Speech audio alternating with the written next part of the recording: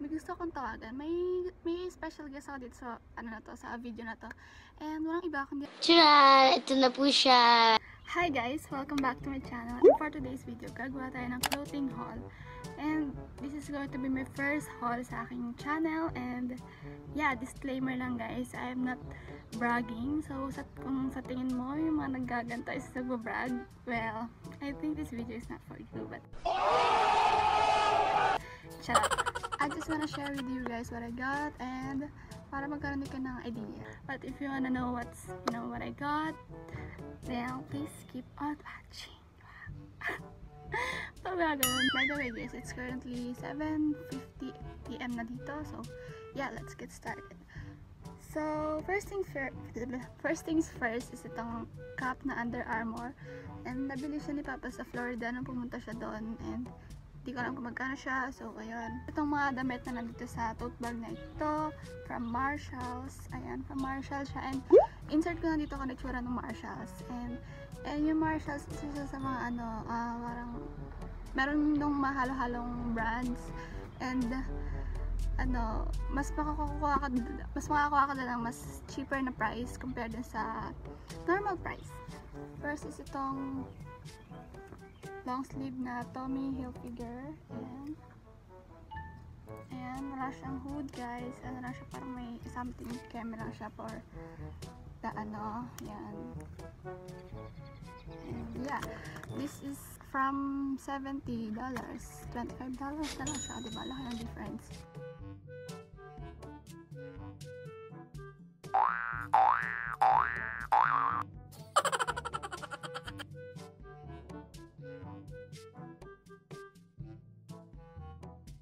Next is itong hoodie. Ayan, mint green. And may nakalagay sa gilid na Calvin Klein. Ayan. Kita niyo ba? Ayan. There. And this is like $25 siya. And I'm medium. Ayan, kasi mas gusto ko yung medyo oversized. You know, tsaka ang ganda niya. Ang comfy. Favorite ko to.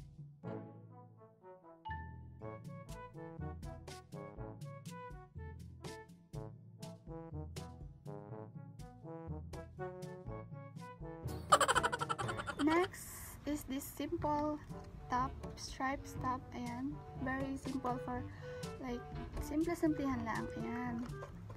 And yung brand niya is Active USA. I don't know. And ano lang siya, $10. So it's like 500 pesos. Compare sa old price niya na $13. So, diba? And next ko na yung mga footwear. And yung footwear, nabili namin siya sa DSW. Kaya ba naman yan? And insert ko lang din dito yung picture ng store. And dun din, same din siya ng Marshall. Mas makakakuha ka dun ng mga cheap price compare sa mga high price. Pero, ayun, mga ano din doon, branded stuff. Next is itong Steve Maiden na flats. Ayan. So, may ganito rin ako nung ano, na may heels naman. Yung mga ganyang, ano lang, kataas. And then, pag hindi ko feel mag-heels, diba, parang, ano, so, ayun, perfect siya for that. And sobrang nagustuhan ko siya nung binili ko kasi, nung binili sa akin ni Papa pala. Kasi, wala lang. Kasi super love ko yung may heels nito. Kasi, yung may heels ko nito. Tapos, ayun, nagkaroon ako ng flats lang for everyday. Perfect. And I got this for $49. Ganun. Hit you with that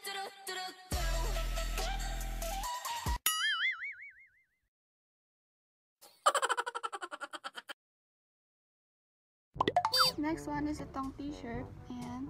And by the way, hindi ko siya nabili sa Marshalls. Nabili ko siya sa TJ Maxx. Yeah. TJ Maxx. And insert ko rin yung insurance store niya para may idea kayo guys. So, ayan. Simple top lang. Tapos, ayan si Ice Cube. Ano siya, rapper siya. Dito si Ice. Actually, hindi ko rin siya kalala. Pero nagustuhan ko kasi yung ano, yung t-shirt. Kaya binili ko siya. So, nasa ano din yata ito eh. Nasa 10 or, ay 7. 7 dollars. Yes. Next one is this uh, Steve Maiden na combat boot. Combat boot pa tawag sa kanya. Basta yun, hindi ko alam. Ayan. In the size 7. Actually, 6 ako, pero 7 siya kasi sila papa. And I got this for, ano, 70 or 79 dollars. ang original price price, ang original price is $100. 100 plus dollars. So, ayun, di ba nakuha ko siya ng sabi rin. Pero, ang mahal pa rin. Pero, okay lang. Actually, guys, may story to eh. Kasi ano siya, nung yung nakalagay doon, ang size na meron lang, yung left 7, yung right 6. So sabi ko, okay na yan, okay na yan, okay na. Eh kaso, sila papa ko sila push na, hindi alam bakit ang saan naman yung bayad mo, tapos kagay size. Tapos sabi naman, eh kaso pwede naman din mag ano eh, pwede naman parang o-order ka ng gusto mo size, tapos i-deliver na lang nila sa bahay mo, tapos ayun, gano'n ang ginawa. So, yeah, I got the same size pa din, pero medyo malaki ng slide, pero okay lang. And, I super love it. So, bilisan na natin guys, kasi medyo magdidilim na, mag-8 na. I mean, 8 na pala.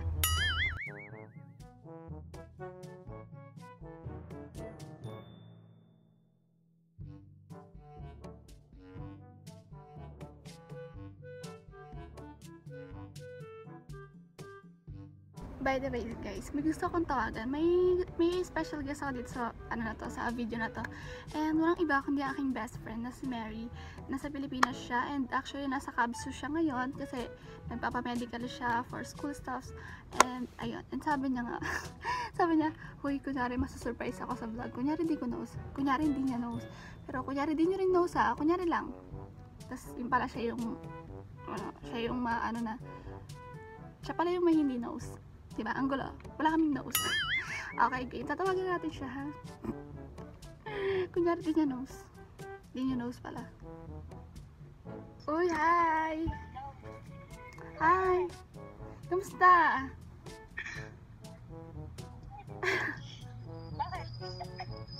ha? Ah, sa Kabso ka ba ngayon? Ano? Nag-vlog ako. I mean, nag-film pala ako. Hi! Can you say hi sa vlog? Bakit? Ayun pala, di ka pala nakik... Ayun o, hi ka sa vlog. Nabili ko yung para kaya. Wah, di daw siya na-inform. So, kamusta naman ang init dyan, girl? Grabe ang init sa ano, US. Ah, sa US nga pala siya, guys. So, ako yung nasa Pilipinas pala. Malay, malay, malay. Mag, baka may gusto ka pong i-promote channel. O, ayun nga pala, may channel ka din. So, paki... Promote mo yung ano, shop. Ah, sige, sige. Uh, promote mo yung shop, yung shop natin. Follow niyo yung ano, M&M Apparel sa Instagram. No? Yes. Nagbebenta po siya ng mga ano, ng mga pinagbabawal. Charot. Link ko na lang daw. Delete. Sige, ililink na lang po niya ha. Paki-wait na lang po. Nagbebenta po siya doon ng mga clothing. Ayaw, ano pa yung channel mo? Mary C. Mary C, oo. Siya po kasi yung anak ni Henry C. So, okay na, okay na. Napakita ka na sa vlog. Okay. Bye-bye. Itutuloy ko na siya dahil dalawa na lang. Bye-bye. Bye! Bye ka na! So, ayun, nakita niyo yung best friend ko na gusto magpakita lang talaga. Magpa-expose lang po talaga. so, ayun. Let's continue na nga. So, next is itong top na yan. From dun din sa Marshall. And yung brand niya is, anong brand mo sis? Wala siyang, ay hindi, hindi ko alam kung ano to. Ay hindi, ito pala. Scorpio Soul? Soul? What? Hindi ko alam. I'm not familiar. So, yan ang perfect na heart. Sa, tapos may detail siyang ganyan sa baba. Parang pa-X something. Ayan, crop lang siya. And this was, ano, from $25. Naging $15 na siya. 15 kasi na round off ko. For the last uh, tops, I mean clothes, is this sports bra na Calvin Klein as well. Ayan, may detail siya sa gilid. Klein. And hindi siya usual na sports bra na yung usual natin nakakita. Actually, yun yung gusto ko, pero wala. So, ito. Ayan. Tapos, ganito siya sa likod. Ayan. And, hindi ko alam kung magkano siya. And for the last item that I got sa DSW naman is this Benassi Duo na slide. Ayan. Ayan siya I'm happy kasi, hello, wala lang. Hindi ko alam kung may ganito na sa Pinas, pero ayun. This one is, ano, $40. Hindi siya naka-save din actually. Pero okay lang. So, ayan.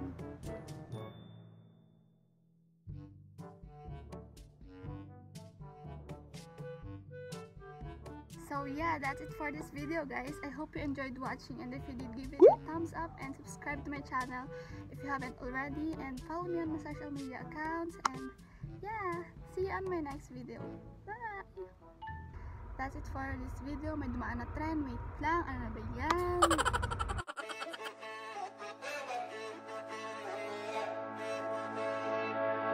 To be young and in love in New York City.